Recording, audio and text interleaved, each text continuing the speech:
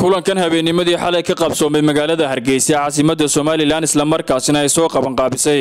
Wasaaradda cadaaladda ee jamhuuriyadda somalilan ayaa waxaa lagaga hadlayey saamayntii uu yeeshay xasuuqi ay dowladii keligii taliska ee siyaad bare ka geysatay deegaanada somalilan. Munaasibadan ayaa waxaa ka soo qayb galay wasiirka wasaaradda cadaaladda ee jamhuuriyadda somalilan cabdiqani maxamuud caateeye madaxweyne ku-xigeenkii hore jamhuuriyadda somalilan cabdiraxmaan aw cali faarax. Wasiir ku-xigeenada wasaaradaha maaliyadda iyo arrimaha dibadda iyo iskaashiga caalamiga ka badan koob iyo toban xubnood oo kala matalaya waddamada beesha caalamka brofesaro aqoon-yahano mas'uuliyiin iyo sidoo kale marti sharaf kale aad u tiro badan. Ugu horeyn waxaa munaasabadaas ka hadlay islamarkaana hadalka iska daba qaatay. Qaar ka mid a mas'uuliyiintii soo qabanqaabiyey munaasabadani iyo aqoon-yahano ayagoo ku dheeraaday saamaynta uu yeeshay xasuuqii ay dowladii keligii taliska ah ee siyaad bare ka geysatay deegaanada somalilan iyo xabaal wadareedyo muddooyinkii u dambeeyey laga helayay deegaanada somalilan ay u haystaan geesiyaal dalkooda dadkooda daafacaya taasi dareen xun bay dadkan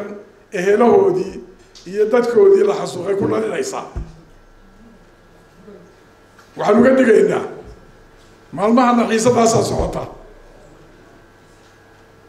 Midaanu qaadan karayno maaha inay tii oo kale soo noqoto oo la isbeerlaxawsado oo soomaali cidda kala kaxayse waa la yaqaanaa ee kala geysay. Soomaali nacaybna kuma jiro. Soomaalinimo jacayl dowladayadii aanu halkan lixdankii ku hel juun iyadoo sidii u duuba wanagii geynay. Soomaali jacayl bay naga ahayd. Walaalnimay naga ahayd. Waxaa laga faa'iiday isku tagga ah waxa laga faa'iiday xasuuqa ah that has been working uh, on this uh, very important and at the same time very nerve-wracking uh, work. Uh, these people are trained people. These, they are forensic scientists. If they were not people who were trained to do this kind of thing, it would totally have been uh, very difficult because many of us could not do this kind of work, neither emotionally nor uh, scientifically. oo la diiwaan geliyo dadkii dhintay. Si aynu u haysano number sugan. Xitaa commissionkan xasuuqa qalad sameeya. Maaha konton kun oo qof. Kontonka kun oo qof waa bishii hore ugu horeysa dagaalku dhacay dadkii la laayay. Waxaa jira wax la yidhaha sampling. Anugu research baan ku sameeyey. Samplingkaan sameeyey familigayga oo keliya ayaa shan qof kaga maqanyay meesha dadkii aan la sheekaystay ee faraha averagku waa ilaa saddex ka maqan reerkiiba. Ama madfax ku dhaco ama ku dhintaan. Anugu aan ku qiyaasay laba kun oo qof in dowladdaasi ay dishay I'm honored to be here this night sharing this time with all of you.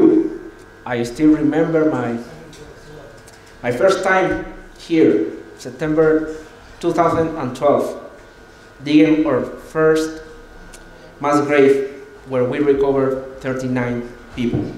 xilligaa reer somalilan ay iloobeen in maanta ay dadka joogaa ay ku celinayaan. Oo aada moodo inay sitaan manualkii maxamed siyaad barre uu ku shaqayn jiray ee uu siyaasaddii maxamed siyaad barre uu dadkan kula macaamili jiray. Ama halka uu ka taagnaa ay maanta ka taagan yihiin. Runtii waxay muujinaysaa ama ay soo kicinaysaa doogahaasay soo kicinaysaa somalilan sidii professor cabdisalaan yaasi sheegay waa waddan madax bannaan oo shuruudihii dowladnimada oo dhan leh. Waa waddan ay xaq u siinayso. Mid ka mid a qadiyadaha maanta aynu xusana ee jonas orkaasi waxay somalilan xaq u siinaysaa oo xuquuq caalamiya ay somalilan u siinaysaa in la ictiraafo ugu dambeyn waxaa munaasabada soo gunaanaday wasiirka wasaaradda cadaaladda ee jamhuuriyadda somalilan cabdiqani maxamuud caateeye asagoo ku dheeraaday muhiimadda uu kulankani leeyahay islamarkaana si qoto dheer ugu nuuxnuuxsaday saamaynta uu somalilan ku yeeshay xasuuqii ay geysatay dowladdii uu hogaamin jiray keligii taliskii maxamed siyaad barre isagoo wasiirku intaasi ku daray xabaala wadareedyo muddooyinkii u dambeeyey laga helayay qaar ka mida deegaanada somalilan waxaana hadalladiisii ka mid ahaa uguna dhaqmaysaa xeerarka dalka ee dastuurka ugu horeeyo waxaa kaloo ixtiraamaysaa kuna dhaqmaysaa xeerarka caalamiga ah iyo mabaadi'da la xidhiidha ilaalinta xuquuqda aadamaha. Waxa waxa waxaa maadaama anagu wasaaradda cadaalad waxaan u soo qaadnay wasaaradda maaliyadda saameyntuu ku yeeshay xasuuqi.